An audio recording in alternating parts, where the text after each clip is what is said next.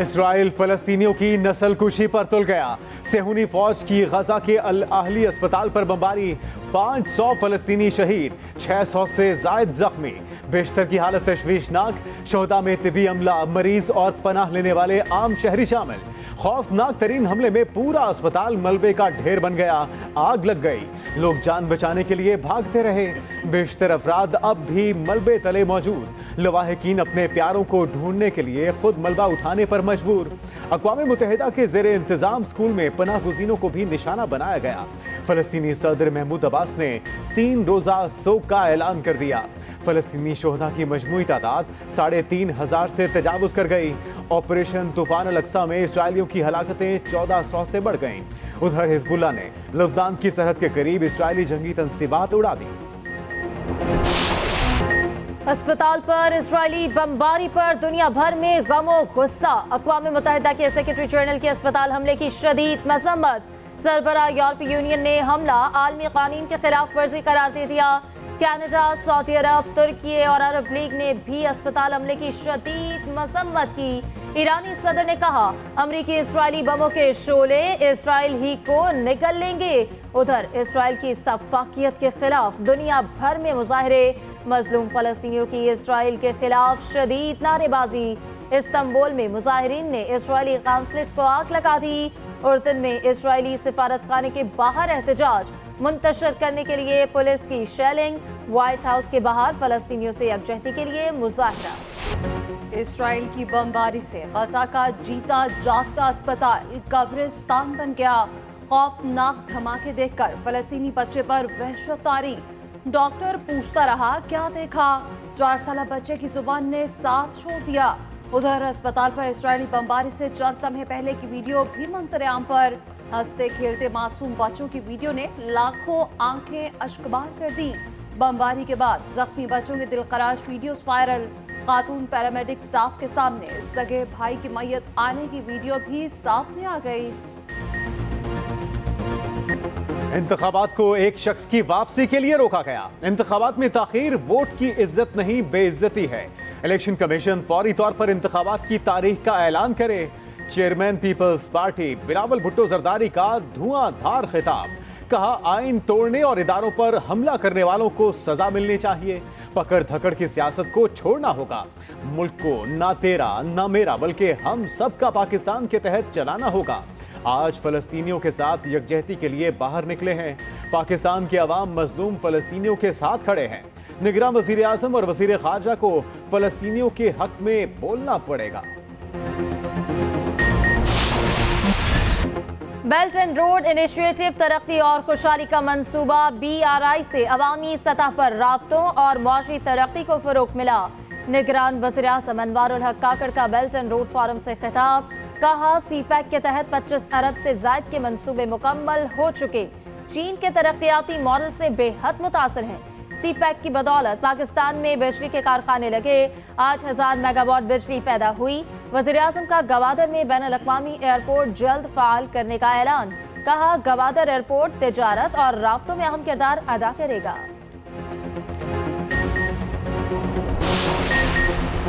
Block की सियासत हमारा इंतखाब नहीं, एक तरफा पाबंदियों के खिलाफ है। रोशन मुस्तकबिल के लिए इज्तमाही चैलेंजेस का मिलकर मुकाबला करना होगा। चीनी सदर शी जिनपिंग का बेल्ट एंड रोड फोरम से खिताब। कहा, फोरम के तहत क्लीन एंड ग्रीन इकॉनमी को तरजीह दी गई। तरक्की पसीर मुल्कों के लिए नई इकतदी राहदारियों का क्याम तरजीह है। रूसी सफ़र प्यूटन ने कहा, रूस और चीन पायदार तरक्की के हसूल के लिए काम कर रहे हैं।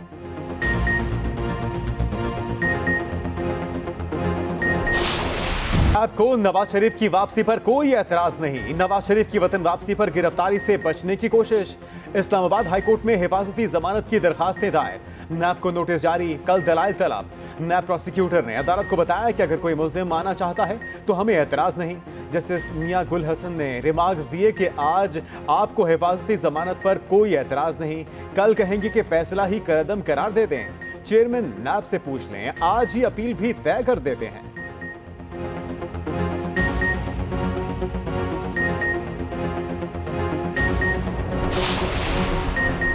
नवाज़ शरीफ लाहौर आएँगे या इस्लामाबाद लैंड करेंगे? फैसला अदालती इजाज़त से मशरूत। अदालत ने पेशी लाजमी करार दी तो दुबई से सीधा इस्लामाबाद उतरेंगे। पेशी के बाद चार्टर तैयारे से लाहौर पहुँचेंगे। हाजिरी से इस्तना मिल गया तो दुबई से लाहौर एयरपोर्ट लैंड करेंगे।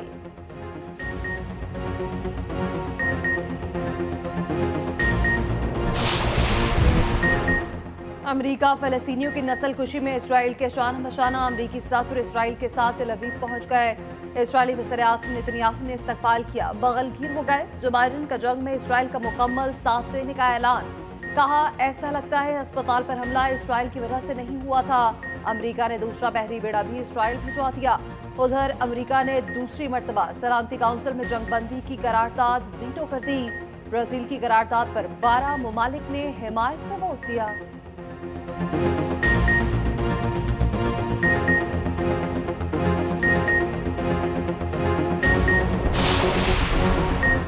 इसराइल की चोरी, फिर सीना जोरी अस्पताल हमले का जिम्मेदार इस्लामी जहाद को ठहरा दिया।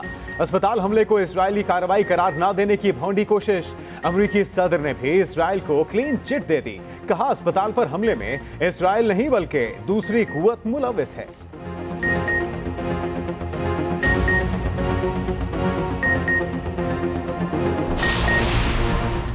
पाकिस्तान की गजा के अस्पताल पर इसराइली हमले की शदीद मसम्मत निगरान वजी अजम अनवारुल हक काकर ने हमले को गैर इंसानी फेल करार दिया।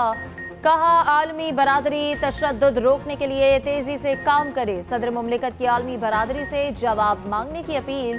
कहा, इसराइली बमबारी रोकने के लिए फौरी कार्रवाई की जाए।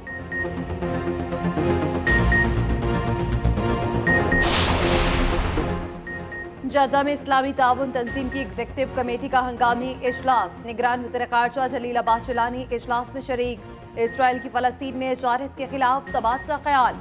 ईरानी वजर खारजा की भी इजलास में शिरकत। इजलास से कबल जलील अब्बास जिलानी की सऊदी हमनसब फैसल बिन फरहान से मुलाकात। पाक, सऊदी ताल्लुक समेत अहम अमूर पर तबादला ख्याल। निगरान विफाकी वजर खारजा ओ आई सी के सेक्रेटरी जनरल से भी मिले।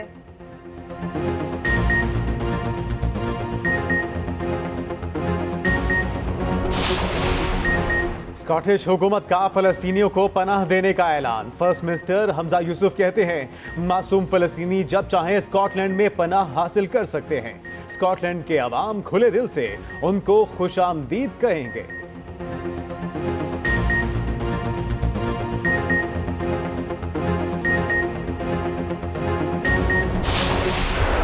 पाकिस्तान का अबाबील वेपन सिस्टम का कामयाब फ़्लाइट टेस्ट। आईएसपीआर के मुताबिक मिसाइल सिस्टम का मकसद डेटरेंस को मज़बूत बनाना है। Chairman joint chief of staff committee general Sahir Shamshad Mirza ने फ़्लाइट टेस्ट देखा। सदर वज़ीर और सर्विसेज़ चीफ ने कामयाब फ़्लाइट टेस्ट पर मुबारकबाद दी।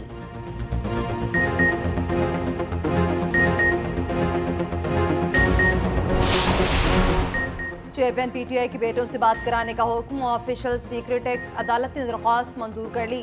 कहा, सुपरिटेंडेंट अडियाला जेल व्हाट्सएप के ज़रिए बात कराएँ। दौरान समात वकील की चेयरमैन पीटीआई को वर्जिश के लिए साइकिल फराहम करने की इस्तदा जज अबुल हसनात ने रिमार्क्स दिए, चाहते हैं साइकिल का गलत इस्तेमाल न हो।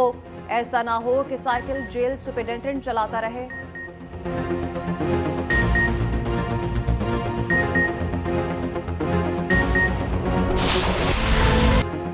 अमरीकी डॉलर का रुपए को पलटकर जोरदार जवाब। इंटरबैंक में अमरीकी डॉलर तीन रुपए, चौबीस पैसे महँगा, दो सौ अस्सी रुपए, उनतीस पैसे पर बंद। उधर, पाकिस्तान स्टॉक एक्सचेंज में निन्यानवे पॉइंट की कमी।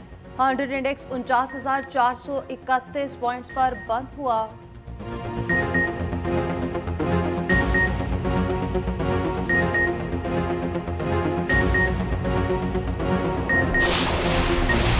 अमेरिका का खुलकर इसराइल की जारियत की हिमायत कर रहा है। अरबी जमात इस्लामी सिराजुल हक कहते हैं, इस्लामी हुक्मरानों ने दिलेराना मौकफ न अपनाया तो तारीख उन्हें कभी माफ़ नहीं करेगी।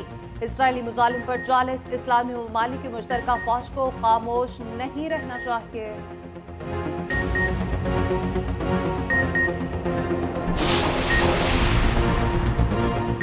बाबर इलेवन का ऑस्ट्रेलिया के खिलाफ इम्तिहान। कौमी क्रिकेट टीम की बेंगलौर के चुनाव स्वामी स्टेडियम में प्रैक्टिस।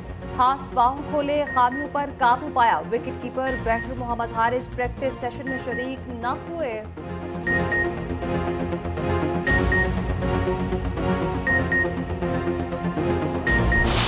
न्यूजीलैंड की वर्ल्ड कप में मुसलसल चौथी फतह। पॉइंट्स टेबल पर पहला नंबर अफ़गानिस्तान को एक रन के बड़े मार्जिन से शिकस्त दे दी।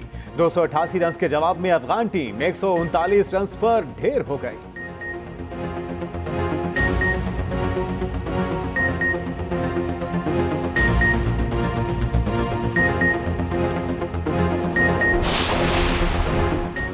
वनडे की आलमी रैंकिंग में बाबर आज़म की हुक्मरानी बरकरार। भारतीय ओपनर शुभमन गिल दूसरे नंबर पर मौजूद। इमामुल हक और Fakhar Zaman top ten ranking से बाहर निकल गए। आईसीसी ने वनडे रैंकिंग जारी कर दी। कोई पाकिस्तानी बॉलर टॉप टेन में जगह ना बना सका।